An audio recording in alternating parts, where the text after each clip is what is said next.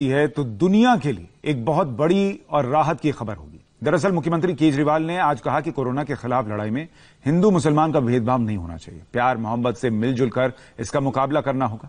अगर ऐसा नहीं किया गया तो हम ये जंग हार जाएँगे। इसकी एक मिसाल झज्जर से मिली है, जहाँ तबलीगी जमात के एक सौ उनतीस लोग भर्ती थे।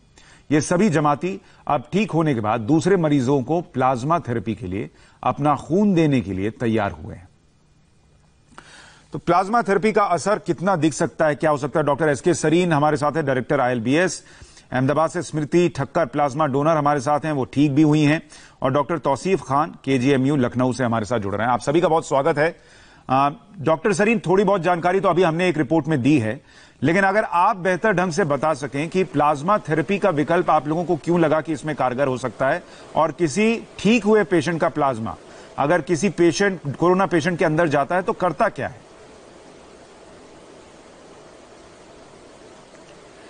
जैसा आपको परसों ऑनरेबल चीफ मिनिस्टर केजरीवाल साहब ने बताया था कि इनिशियली हम लोगों ने चार पेशेंट्स में प्लाज्मा थेरेपी जो कि प्लाज्मा पेशेंट्स ऑफ़ कोरोना जो रिकवर कर गए हैं, उसके बाद उनका प्लाज्मा लिया गया था। और ये प्लाज्मा जिन पेशेंट्स को दिया गया, उसमें बहुत एनकरेजिंग रिजल्ट्स मिले। अगर किसी व्यक्ति को कोरोना इन्फेक्शन होता है तो उसके अंदर उस वायरस को क्लियर करने के लिए बॉडी एक प्रोटीन बनाती है। और ये प्रोटीन्स जो हैं, ये वायरस को न्यूट्रलाइज करते हैं या उसे डिक्रीज करते हैं। इन प्रोटीन्स को हम एंटीबॉडीज कहते हैं। तो जब आप ब्लड देने के लिए जाते हैं तो नॉर्मली आपका वेन में से ब्लड लेते हैं, वो एक बॉटल में जाता है और आप घर आ जाते हैं। पर प्लाज्मा थेरेपी एफेरेसिस में आप जब ब्लड देते हैं, उसमें से सिर्फ़ एक स्मॉल पोर्शन प्रोटीन्स का निकाला जाता है, बाकी ब्लड वापस आ जाता है। तो इसलिए ना तो कोई वीकनेस होती है। और सिवाय उस व्यक्ति के जिसने की कोरोना को झेला है, उसके अलावा किसी और की बॉडी में प्रोटीन्स बनते नहीं हैं, ये एंटीबॉडीज बनती नहीं है। तो ये एंटीबॉडीज वाला प्लाज्मा या प्रोटीन अगर हम लें और किसी ऐसे व्यक्ति को दें जो कि अभी स्ट्रगल कर रहा है। और इसके तीन फेजेस होते हैं कोरोना इन्फेक्शन के। फ़र्स्ट होता है वायरीमिया जिसके अंदर डे वन से डे सेवन और उसके बाद तक वायरस मल्टीप्लाई करता है इस थ्रोट के एरिया में नोज़ के एरिया में। और उसके बाद में दूसरी स्टेज होती है जिसको कि हम लंग की स्टेज या पल्मोनरी स्टेज कहते हैं, जिसमें लंग के इन्फेक्शन सीटी स्कैन के अंदर आपको दिखता है कि हाँ इन्फिल्ट्रेट्स हैं। और थर्ड स्टेज जिसमें कि साइटोकाइंस या बॉडी के अंदर एक तरह से पूरी रिएक्शन होती है कि वायरस को हटाएँ। उसमें ऑर्गन फेलियर की स्टेज आ जाती है एडवांस्ड स्टेज है। और फ़र्स्ट स्टेज में आप पकड़ नहीं सकते वायरस को। तो जनरली हमारे पास जब मरीज़ आते हैं, जो कि सिक होने लगते हैं, वो सेकेंड फ़ेज़ में आते हैं, जो कि पल्मोनरी फ़ेज़ होता है। ऐसे फ़ेज़ में जबकि वायरस भी मल्टीप्लाई कर रहा है और ऑर्गन इंजरी हो रही है। ऐसे में अगर आप वो प्रोटीन्स डाल दें, वो एंटीबॉडीज डाल दें उसके शरीर में तो उस वायरस को न्यूट्रलाइज भी कर सकती हैं वायरस की क्वांटिटी को डाइल्यूट कर सकती हैं, और हो सकता है कि वो व्यक्ति थर्ड स्टेज में ना जाए, जिसके अंदर की साइटोकाइन स्टॉम्स या ऑर्गन इंजरी है। तो इस थ्योरी के ऊपर हम लोगों ने प्लाज्मा थेरेपी शुरू की और मैं बहुत खुश हूँ कि बहुत सारे एरियाज़ के अंदर कंट्री के अंदर अब ये शुरू होने लगी है। और इसका बेनिफिट ये है कि अगर व्यक्ति ठीक होने लगता है तो within two three days ऐसा हो सकता है कि वेंटिलेटर पे ना जाए या ऐसा हो सकता है कि उसके अर्ली स्टेज में रिकवरी हो जाए। अच्छा सर तो अगर हाँ, अगर इसको सरल भाषा में बिगिनर्स लग तो शुरू में। जब भी कोई शरीर बीमार पड़ता है तो वो उस बीमारी से लड़ते लड़ते एक रोग उस रोग से लड़ने की प्रतिरोधक क्षमता भी तैयार करता है जिसको आप एंटीबॉडी कह रहे हैं। तो ऐसे में जो कोरोना से ठीक हुए पेशेंट हैं उनसे वो रोग प्रतिरोधक क्षमता उधार लेकर हम उनको दे रहे हैं जो कि इस वक्त ये लड़ाई लड़ रहे हैं। बिल्कुल ठीक आपने इसको सरल भाषा में कहा और इसीलिए हर कोरोना डोनर हर व्यक्ति जो कोरोना से रिकवर हुआ है he is a unique person अगर पाँच हज़ार लोग इंडिया के अंदर हुए तो ये पाँच हज़ार बहुत प्रेशस है हमारे लिए, और जैसा कि सीएम दिल्ली पूरी कोशिश कर रहे हैं कि मतलब डे एंड नाइट की हर जगह से हमें प्लाज्मा मिल जाए, हमें वो डोनर्स के साथ एक बैंक बन जाए जिसके अंदर की दिल्ली में किसी व्यक्ति के अंदर कोरोना का सीरियस इन्फेक्शन हो तो उसे ट्रीट किया जा सके। पर इसकी दो चीज़ें मैं बताना चाहूँगा कि अभी तक ये एक्सपेरिमेंटल है। मैं ये कह दूँ कि ये प्रूवन है ये ठीक हो जाएँगे या गारंटी है इसकी, ये बिल्कुल पॉसिबल नहीं है। We have a long journey to go because there are three things which are required in the corona war. One is a vaccine. Vaccine means कि वो आदमी प्रिवेंट हो जाएगा कि वायरस जाएगा ही नहीं। हमारे पास वो नहीं है। सेकेंड इज़ ए स्टेज जिसके के अंदर वायरस मल्टीप्लाई कर रहा है वायरस को दबाना है। विच इज़ एन एंटीवायरल जैसे एंटीबायोटिक होती है बैक्टीरिया के लिए, उसी तरह एंटीवायरल चाहिए। वो हमारे पास नहीं है। तो हमारे पास अभी अवेलेबल क्या है कि हम थर्ड स्टेज में मरीज़ ना जाए, उसके लिए उसको न्यूट्रलाइज कर सकते हैं। तो this is not the proper therapy this is not the true therapy for any corona infection it is a stop gap but yes if it work if it neutralize if multiple trials show it is useful I think this may be till the time a vaccine comes.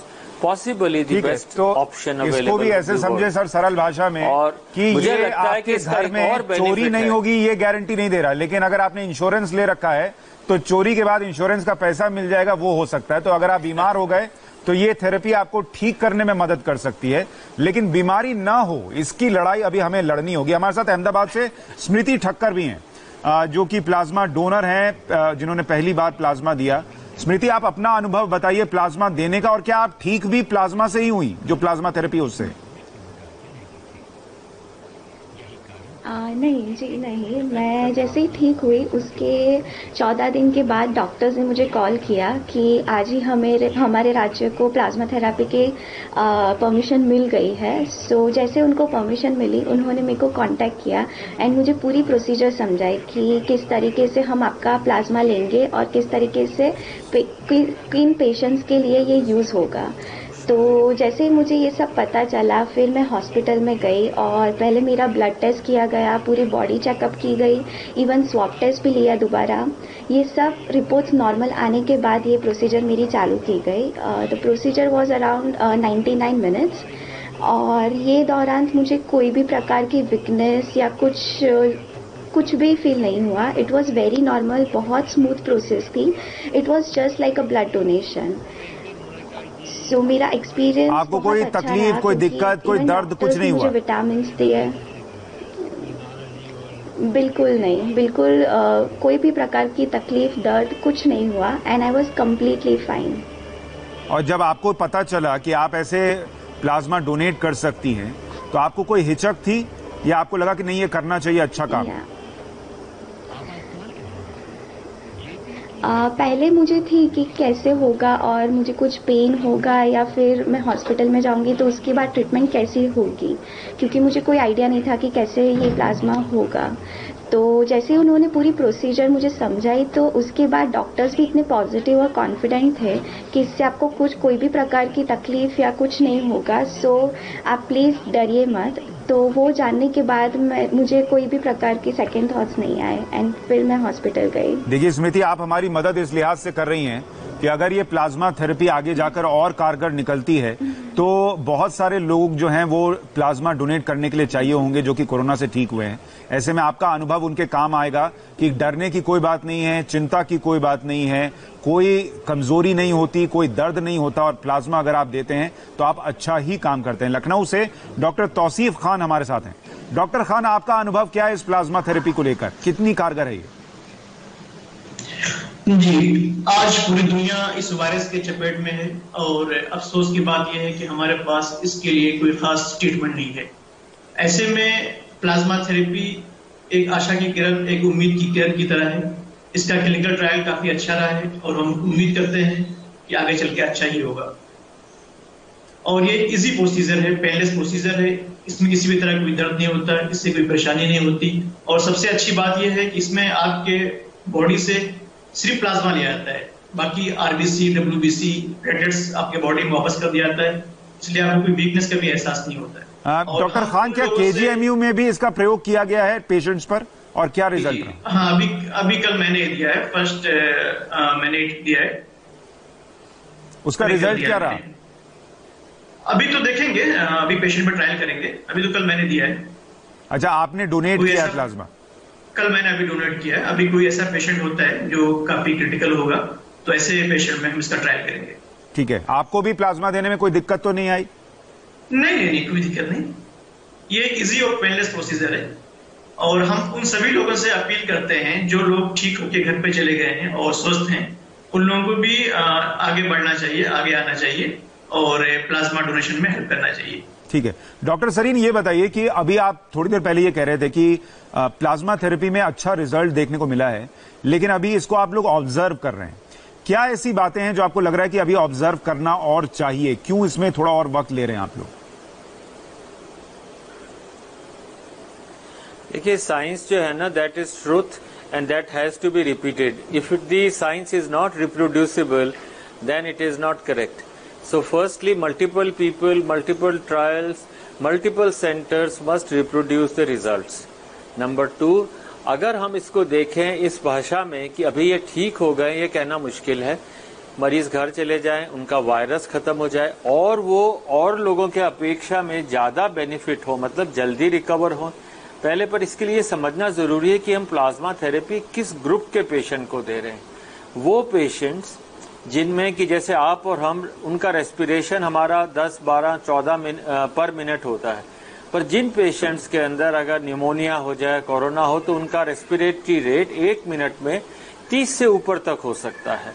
30 times पर minute they are breathing और oxygen जो हमारी आपकी करीब 99 percent होती है saturation वो 93 percent से भी कम हो जाए। मतलब उनको बिना ऑक्सीजन के extra high quality high quantity oxygen के वो बच नहीं सकते। या उनके लंग्स में बड़े बड़े निमोनिया के पैचेस हैं लंग डैमेज हो जाता है उनका। ऐसे व्यक्ति में जो कि बहुत सिक है जिसमें बचने की उम्मीद नहीं है ऐसे मरीज़ के अंदर हम प्लाज्मा देना चाहते हैं। वो नहीं जिनको कि कोई सिम्टम नहीं है घर पे बैठे हैं सिर्फ़ कोरोना से इन्फेक्टेड है उनमें प्लाज्मा थेरेपी नहीं देनी है। हम्म। हमें उन्हें देनी है जो कि हो सकता है बचे नहीं। ऐसे व्यक्ति में जहाँ और कोई थेरेपी नहीं है अगर आप थेरेपी दें और वो व्यक्ति जल्दी ठीक हो जाए वेंटिलेटर पे ना जाए या वेंटिलेटर पे है तो उससे निकल आए उसके ऑर्गन फेलियर नहीं हो किडनी डैमेज नहीं हो या उसका जो है ब्रेन या उसका हार्ट नहीं फेल हो ऐसे अगर हम लोग इलाज के फ़ायदे हों और इसको हमें काफ़ी अरसे तक देखना अच्छा सर हमारे पास थोड़ा वक्त कम है मैं आपसे कुछ एक दो सवाल पूछ रहे हैं अगर आप छोटे में उनके जवाब दे सकें। अभी जो लोग ये सुन रहे होंगे उनके मन में ये सवाल होगा कि अगर मान लीजिए इतने सारे कोरोना पेशेंट्स ठीक होकर घर भी गए हैं अगर उनका प्लाज्मा लेकर क्योंकि अगर कमज़ोरी नहीं हो रही है और लोगों को एहतियातन भी दिया जा सकता है क्या कि वो रोग प्रतिरोधक क्षमता कोरोना के खिलाफ तैयार हो जाए क्या भविष्य में ये भी प्रयोग किया जा सकता है क्या? आज की तारीख में ऐसा कोई है नहीं पर हाँ इसी प्लाज्मा से अगर कोई अच्छी कंपनीज़ इंडिया की आईवीआईजी जो एक हाई क्वालिटी ग्लोबुलेंस बना करके दे सकते हैं वो एक पॉसिबिलिटी है ये हेपेटाइटिस बी के अंदर ट्राई किया गया था। दूसरा मैं कहना चाहूँगा कि व्यक्ति कई बार प्लाज्मा दे सकता है। जैसे ब्लड हम्म। डोनेशन हर तीन महीने में दिया जाता है पर आप प्लाज्मा हर दस दिन में दे सकते हैं कोई कमज़ोरी नहीं आती।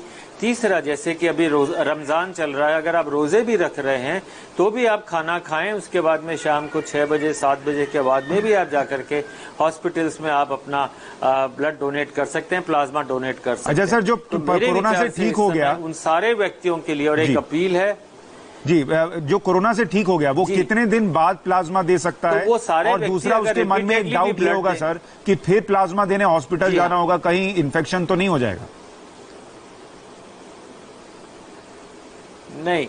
पहली बात, कोरोना से जो रिकवर कर गए हैं, उनके अंदर री इन्फेक्शन कोरोना से पाया गया है। कोरिया में कई जगह, पर बहुत कम है। अगर आपको सेकेंड टाइम भी कोरोना होता है by rare chance even then it is a mild disease पर अस्पताल में कोरोना नहीं होगा, एक सेपरेट एरिया होता है ब्लड का कलेक्शन का एक सेपरेट एरिया होता है, और डॉक्टर्स पूरा ध्यान रखते हैं। और ये याद रखें, जितनी बार आप प्लाज्मा देंगे या ब्लड देंगे, नई एंटीबॉडीज बनेंगी। आपकी बॉडी स्ट्रांगर होगी वीक नहीं होगी किसी हालत में। हीमोग्लोबिन कम नहीं होगा, आपको वीकनेस नहीं आएगी।